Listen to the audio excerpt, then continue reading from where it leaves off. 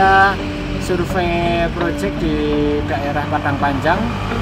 Nah, kita habis pendekatan dengan dinas dan dari dinas sudah beri arahan untuk membantu dalam proses uh, memberikan alternatif perencanaan desain.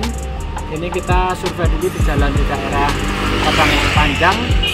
Uh, ini proyek yang baru dikerjakan dan nanti setelah ini ada proyek-proyek lanjutan uh, untuk daerah-daerah Anda yang ingin diperma apa ingin diperbagus kualitas pedestriannya bisa menghubungi kami Kembar Teknika uh, di kontak-kontak yang ada di IG maupun di web kami.